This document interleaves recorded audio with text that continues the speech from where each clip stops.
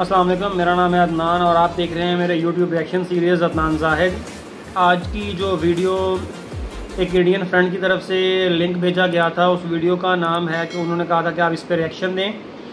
اس video کا نام ہے driving in the golf course road Haryana India چلے، چلتے ہیں۔ پہلے ویڈیو کی طرف، اس کے بعد اس پہ ریئیکشن دیں گے۔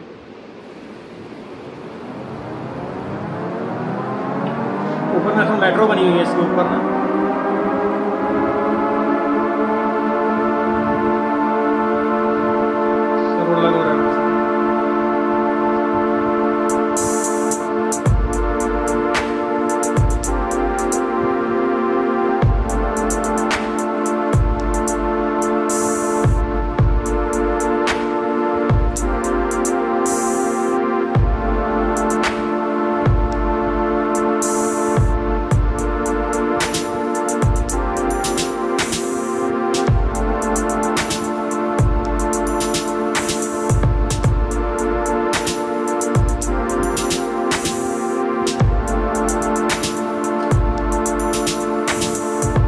جو روڈ کے چلتے ہوئے درمیان میں انہوں نے اینگل لگائے ہوئے ہیں جیسے ابھی یہ اینگل آ رہا ہے یہ میرا خیال سے پاکستان میں جو اس لیے لگائے ہوتے ہیں تو اوور لوڈنگ جو گاڑیاں ہوتی ہیں نا ہیوی ٹرکس وغیرہ وہ یہاں سے کراس نہ ہو سکے میرا خیال ہے یہاں اس کو وہی دکھایا ہے اگر اس کا کوئی ریزن اور ہے تو مجھے آپ کو بتائیں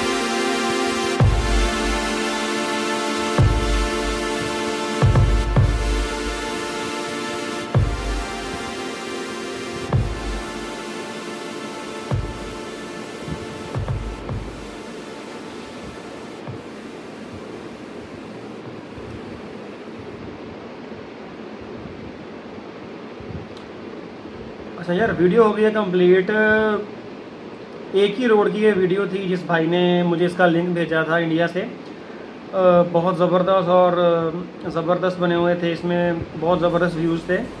مگر ایک چیز جو میں ویڈیو میں بھی پوچھ رہا تھا، وہی کہ وہ جو اینگل لگائے ہوئے تھے، شاید اس لیے لگائے ہوئے تھے کہ اس طرف جو ہے نا وہ ہیوی ٹریفک نہ آئے.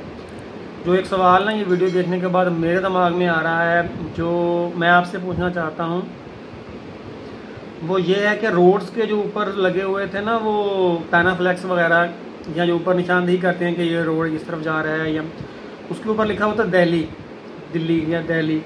مگر یہ ویڈیو ہے ہریانہ۔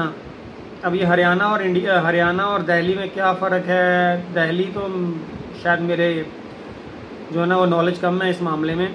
اگر آپ کو کچھ میرے سوال کی سمجھ آ جائے آ گئی ہے تو لازمی کمنٹ میں جواب دیں۔